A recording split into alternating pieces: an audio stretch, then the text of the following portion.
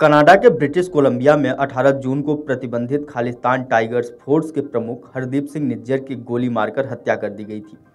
Canada के प्रधानमंत्री Justin Trudeau ने इस हत्या में भारत सरकार की संलिप्तता का आरोप लगाया था, जिसके बाद दोनों देशों में तनाव चरम पर है।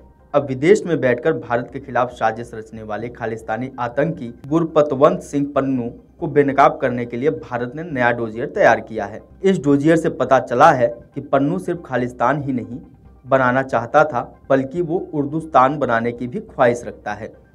इस डोजियर में एस एफ़ जे चीफ और आतंकी गुरपतवंत सिंह पन्नू कैसे भारत के टुकड़े करना चाहता है, उसके प्लानिंग की पूरी खुफिया रिपोर्ट है। नए डोजियर के मुताबिक पन्नू पर पूरे देश में 16 केस दर्ज हैं। दिल्ली, पंजाब, हिमाचल प्रदेश, हरियाणा और उत्तराखंड में खालिस्तानी मूवमेंट को लेकर उस पर ये केस दर्ज किए गए हैं। नए डोजियर के अनुसार बंटवारे के समय उन्नीस में पन्नू पाकिस्तान के पठानकोट गाँव में अमृतसर आया था। नए डोजियर के अनुसार बंटवारे के समय उन्नीस में पन्नू पाकिस्तान के पठानकोट से अमृतसर आया था। उसने पंजाब यूनिवर्सिटी से लॉ की डिग्री ली है। और उसके माता पिता की मौत हो चुकी है। पन्नू का भाई मगवंत सिंह विदेश में रहता है।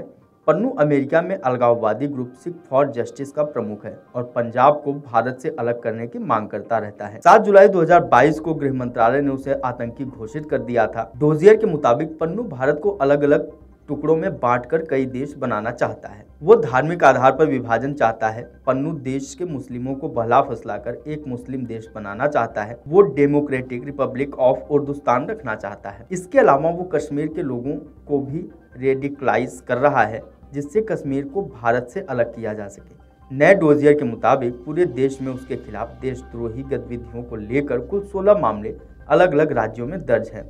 उस पर पंजाब के सरहिंद में यूएपीए के तहत मामला दर्ज है, जबकि अमृतसर में यूएपीए, दिल्ली में यूएपीए के तहत चार मामले, गुरुग्राम में यूएपीए के तहत केस, एनआईए द्वारा यूएपीए के तहत केस, धर्मशाला में यूएपीए के तहत मामले दर्ज हैं। इस तरह उसे यूएपीए यानी कि गैर कानूनी गतिविधि, रोकथाम अधिनियम के तहत कुल नौ मामलों में आरोपी माना गया है। नए डोजियर के मुताबिक, वो इंडिया गेट पर खालिस्तानी झंडा फहराने वाले को दो दशमलव पाँच मिलियन यूएस डॉलर देने की घोषणा कर चुका है। उसने ऐसे पुलिसकर्मी को एक मिलियन यूएस डॉलर देने की घोषणा की थी, जो 15 अगस्त 2021 को लाल किले पर तिरंगा फहराने से रोके। इसके अलावा, कई बार ऑडियो, वॉइस मैसेज भेजकर भारत की एकता और अखंडता को वो चुनौती दे चुका है। पन्नू, पंजाब, दिल्ली, उत्तराखंड, हिमाचल प्रदेश और हरियाणा में अपने गुर्गों के ज़रिए खालिस्तानी पोस्टर और झंडे लगवाने की कई बार कोशिश कर चुका है। आपको बता दें कि भारत और कनाडा के बीच खालिस्तानी आतंकियों को लेकर तनातनी चल रही है। एक तरफ़ कनाडा इन आतंकियों को शरण दे रहा है तो वहीं भारत इनके खिलाफ कार्रवाई की मांग कर रहा है। कनाडा के प्रधानमंत्री जस्टिन ट्रूडो ने खालिस्तानी आतंकी हरदीप सिंह निज्जर की हत्या का आरोप भारत पर लगाया। तो भारत ने सख्ती दिखाते हुए कनाडा का वीज़ा प्रतिबंधित कर दिया है। Video desk Amar Ujala dot com. Amar Ujala, अब आपके टीवी पर भी। अपने स्मार्ट टीवी पर यूट्यूब पर सर्च करें अमर उजाला। चैनल सब्सक्राइब करें और देखें ताज़ा खबरें।